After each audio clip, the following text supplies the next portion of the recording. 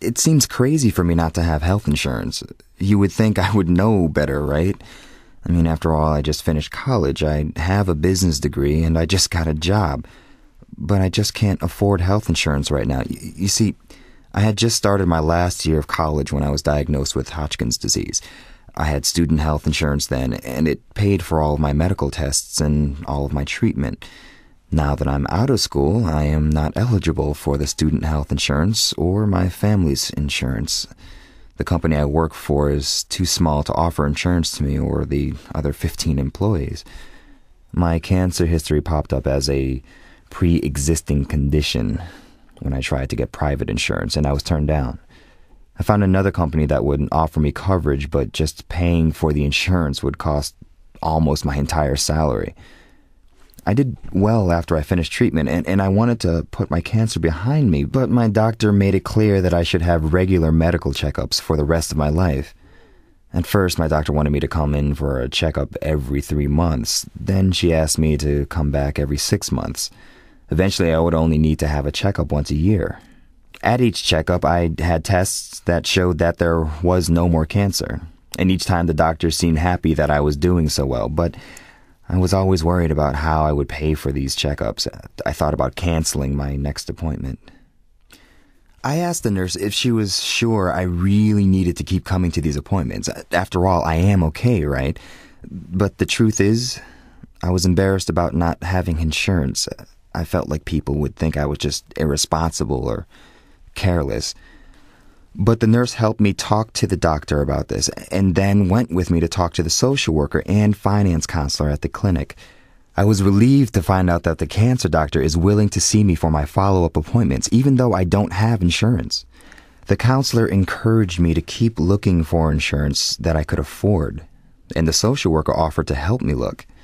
The social worker warned me to expect that I would probably not be able to be insured for cancer, but that I should still try to get insurance for accidents and other illnesses. And I do hope to have a family someday, and I know that getting a family insurance plan will be important. Plus, there is always the chance I will move to another state and need to find new doctors. And then I'll need to explore ways to keep getting my follow up care.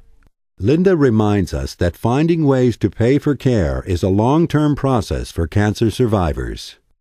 Many cancer survivors face the problem of finding and getting good, consistent follow up care.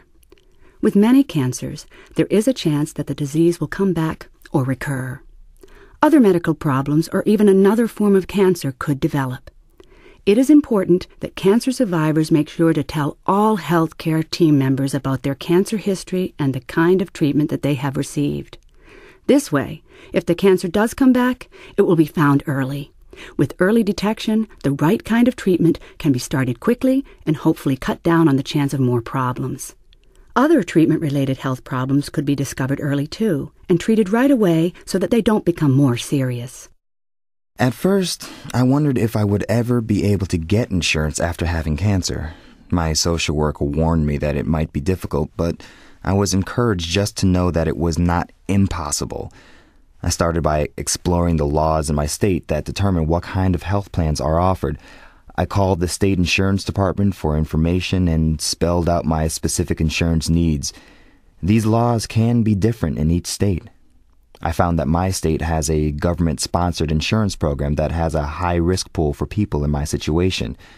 It offers me the chance to get into an insurance program even though I don't qualify for other kinds of insurance. I found out that I would be eligible for what they call an open enrollment period. That's when everyone, no matter what kind of medical history they have, can sign up for an insurance plan.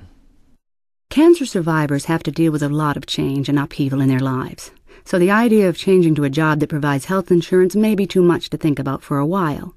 But after things settle down, that is something that might make sense to think about. Certain types of jobs or companies are more likely to offer insurance as an employment benefit. Usually, the larger the company and the more employees, the easier it is to get insurance. Jobs in companies where employees belong to labor unions usually offer insurance as part of the job benefits package. Group insurance plans offered by companies often include an open enrollment period, a designated time during the year when employees select or change their health plans. When people enroll during this open enrollment time, they are usually not asked for information about their health history that has prevented them from getting insurance in the past. Government jobs offer a certain amount of protection, since federal and some state laws help protect cancer survivors against employment discrimination.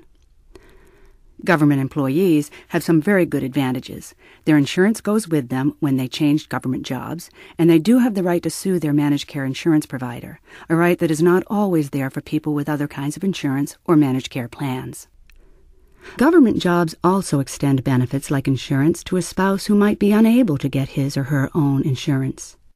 I am young, and I hope that I have a long and healthy life ahead of me. I realize that I will probably see many doctors for different things throughout my life. I used to wonder if I should tell my new doctors about my cancer even when I was seeing them for a non cancer reason. Then, in a group meeting I went to, a nurse who was also a cancer survivor said that it will always be important for any doctor or nurse who provides me care to know about my cancer and the specific treatment I received. This way, they can order the right tests and make sure that I am not having any problems related to my past therapy. Then I thought, wow, my therapy was so complicated.